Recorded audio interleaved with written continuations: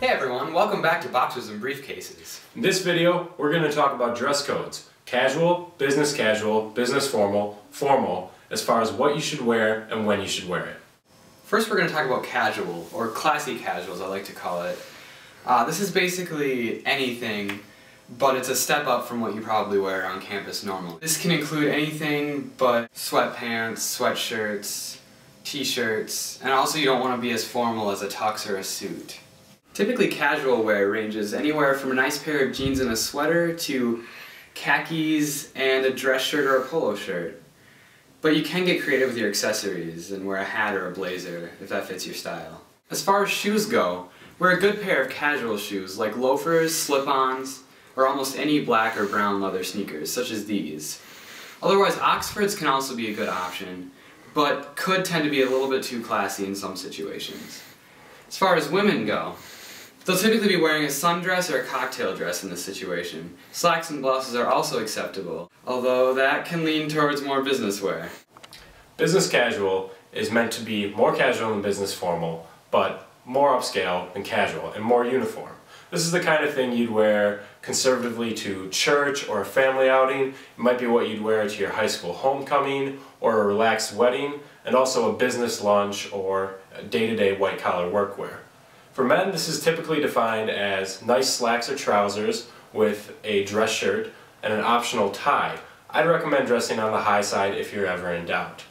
Um, a sweater could be included as well, and for shoes you should be wearing Oxfords, slip-ons, or loafers. No casual dress shoes, no sneakers.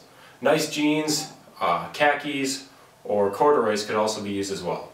A woman in this situation might wear a knee-length skirt with or without tights, um, or a blouse, slacks, or a sweater. Business formal is a type of clothing you would typically wear to make a statement. It's often worn in the business world.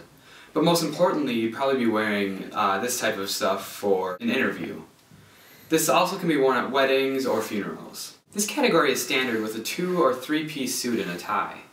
Trousers with a complementary sport coat are acceptable as well. For instance, khakis paired with a navy blue sport coat are a classic combo. Gray, brown, khaki, or black suits are acceptable at this level. You might get away without wearing a jacket, but we suggest wearing one. Women for this level might wear a blazer and matching trousers or skirt. For non-business events, uh, dinner parties for instance, an evening gown might even be acceptable. Think either a simple prom dress or a nice homecoming dress.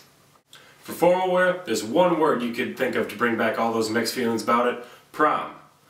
This is the kind of dress you would wear for a fancy wedding, a ball or awards event, or lots of other things you'll probably never be going to. The only times you're really going to be wearing formal wear are your high school prom, your own wedding, or if you're in a wedding party as a groomsman.